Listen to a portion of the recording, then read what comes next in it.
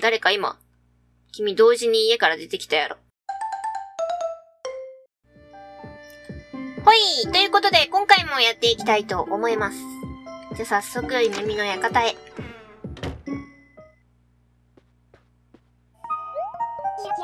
いらっしゃいませ。リラクゼーションサロン、夢の館へようこそお越しくださいました。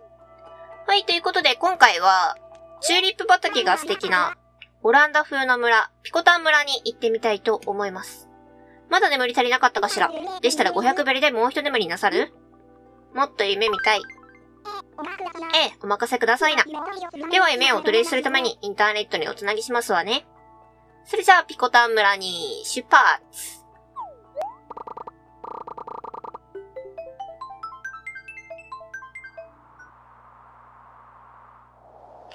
はい、ピコタン村に到着お、服2種類あるんかな？夢の世界へようこそ。あなたは今、ピコタンという村の夢を見てらっしゃるのよ。現実の世界にお戻りになりたいときは、もう一度こちらのベッドに横になってくださいましね。それでは魅惑のピコタンの世界をご堪能遊ばせ。さあ、てことで、お、ん ?2 種類どころじゃないある。これは？ダウンベスト、ネイティブニット、兵隊の服、ホテルマンな服。こっちが全体的に男の子ってことかな自分で組み合わせていく感じ？こっちは？オランダな服。お、なんかいきなり住人さん。チロリアンな服。アンデルセンな服。まあ、全体的にヨーロッパ。で、女の子系やね。花柄の言い方。え？なんかここ急激に日本やけど。めっちゃ押される。じゃあ、オランダ風の村って言ってけん。オランダな服で行きますか。帽子もオランダで。白いストッキングに、これは？木靴と黒い長靴。黒い長靴の方がいいんかな。で、マーガレットの傘、レースの傘、バン傘。レースかな。よし、それじゃあこれで着替えていきます。じゃーんこんな感じで。私、オランダ、オランダといえば、もうね、チューリップのイメージぐらいしかないけん。オランダな服って言われてもわからんねやけど、これが民族衣装的な感じなんかな？オランダの民族衣装なら器具を履くべきだったのでは？じゃあ早速の、あ、間違えた。傘回した。パンナコッタさん、リンゴのタルトがおすすめです。何？お店？こっちに一軒あるけど。多分ここの人、あれ？キャンプ場？でもリンゴがあるね。リンゴ？リンゴのタルトがおすすめ？お邪魔します。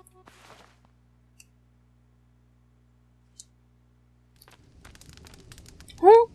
え、まさかのあれ？移動式のケーキ屋さんとかそういうこと？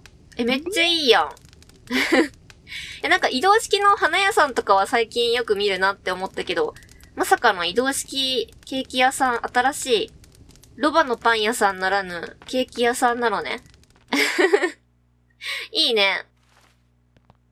もしかしてケーキに使われている甘味料とかは砂糖じゃなくてこの蜂蜜やったりして。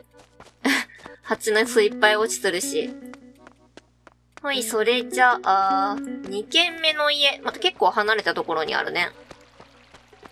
あ、チューリップだけかと思ったらそういうこともなく、おえ、かわいいここの雰囲気めっちゃかわいいいいね。なんか、すごいラブリーな感じじゃない？あ、これは、何？この公共事業のやつに合わせとんや、色、周り。え、いいね。なんかちゃんとこの溶け込んどる感じ。え、そういうの考えて設置したことねえや、私。はい、そして2軒目。あ、同じ帽子。どうも。毎日水やり。こんだけ花があったら確かに水やりは大変そう。まあ、私のメイン村もね、お花はめっちゃいっぱいあるけど、あ、でもまあ住人さんたちがね、みんな水やりしてくれよるけど。はい、それじゃあ、お邪魔します。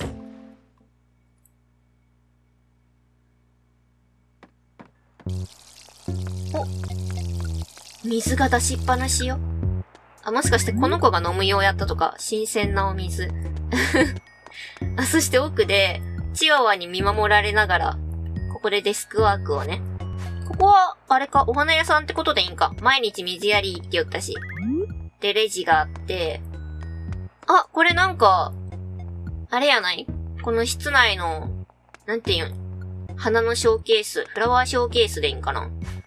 あれなんか、黒いのって新鮮な感じせん？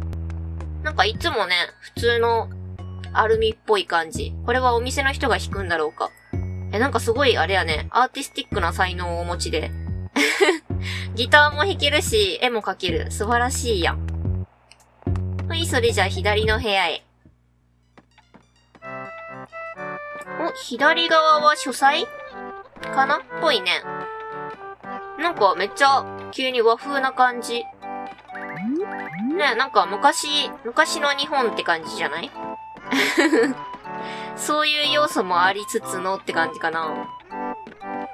なるほど。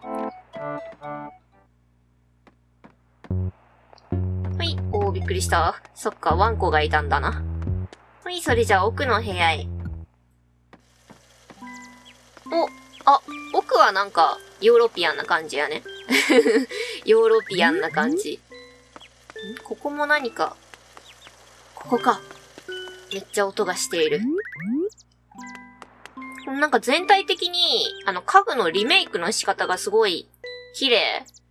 なんか今まであんまりこういう色でリメイクして置いとる人おらんかったなっていう色で、なんかリメイクして置いとる気がする。この辺の家具とかもなんかすごいおしゃれな感じやもんね。カウチも。水色だ、水色だ。すごいなんか統一感があって綺麗。雪だな。はい、そして、右側の部屋へ。お？右側は？バルコニーかな？あ、ここで、ヤシの実ジュースを飲みながら、まあ、ピアノの演奏を聴くと。周りは海に囲まれて、めっちゃおしゃれやん。超おしゃれやん。いいね。ここはカフェってことでいいんかな？カフェ？ココナッツジュース屋さん？ヤシの実ジュース屋さん？なんて言うんやろ。でもなんかすごい、海の家的な雰囲気。はい、それじゃあ2階へ。お、2階、2階は、あ、何？仕立て屋さんか何かってこと？え、なんかここは料理も 料理もここで。そして、日差しを浴びながら、サンドイッチを片手に。あ、これ外で、ヒロさんやったっけ？人ってやつと同じじゃない？あ、かわいい。アジサイの傘？この看板と同じやつや。いや、樹脂力やな。なるほど。服は自分で作ってます的な感じかな。で、夜になったらここから星を眺める。ロマンチック。もう なんか、ひっそりとここに魔女の、なぜあんなひっそりと置かれているのだろうか。はい、そして地下へ。お地下はちょっと暗い。あ、なるほど。ここでなんか、ピアノだとか、あとギター、バイオリンとか、その辺の演奏を聴くことができると、ここで座って。あ、そして、ね、マスターたちがコーヒーを入れてくれる。クラシック系の演奏がここで聴けるってことかなん？これは？何？一人だけなんか写真が？アントニオなぜ？写真の裏に小さな字で何か書いてある。昔掘ったアリ塚。何？どういうこと？ど、どういうこと？なぜ一人だけ写真が飾られとんやろ？お気に入りなんかな？地下はちょっと大人の雰囲気やったね。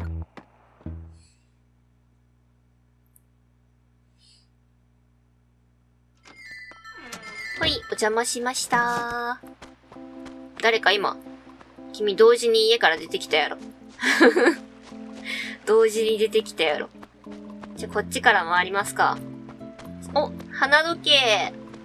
いいね、いいね。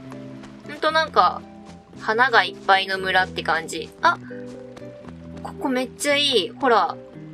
チューリップでできた道。ちょ、私めっちゃチューリップ畑横切ってきてしまったけど。ほら、すごくない？チューリップいっぱい。あ、なんかこの光景、あっちの風車と合わせて、なんかすごいいい感じじゃない？ちょ、この辺かなほら。めっちゃいい感じじゃない？ちょっと傘回してみたりして。いやー、素敵。あ、こっちの方なんか竹が生えとって、女の子おる。どうも。休憩していってね。していきます。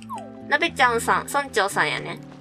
この辺、あの花の組み合わせ、色味がめちゃくちゃ好きなんだけど。超好きなんだけど。何？和風な感じかな、ここ。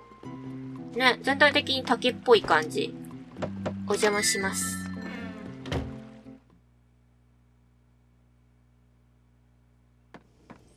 あ、ほら、和だ和だ。お、何の絵これ？これは逆さまの花束かな？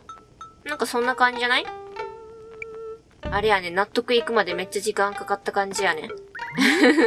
周りにいっぱい散らばってある同じ絵が。あ、こういう和な音楽もいいね。そしてきっとあの子は看板犬なんだろう。ここは喫茶店みたいな感じか。和菓子。あ、でもこっち紅茶とかも出とるね。両方いける感じ？いいね。はい、それじゃあ2階へ。あ、2階は、なんか、日本の夏って感じ。朝顔と七夕の笹に囲まれたお風呂。いいね。ゆったり疲れそうな感じ。お風呂ってなんか地下にあるイメージがあるけど、2階っていうのもなんか新鮮やね。じゃ、ここは泊まることもできるんかな？ゆっくりしていってね。泊まるわけじゃないんか。泊まるための部屋とかは情けな感じやね。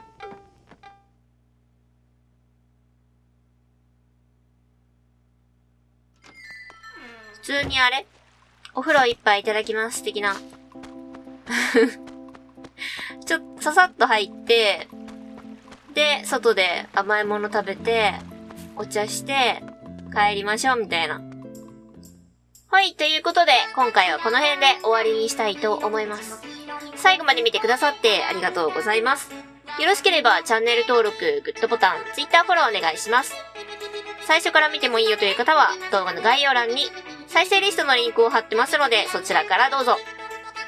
いつもたくさんのコメントありがとうございます。また次回の動画でお会いしましょう。またねー。同じ花だらけの村でも、私の村とは全然違うね。色とか、と配置の仕方とかめちゃくちゃ工夫してる感じがする。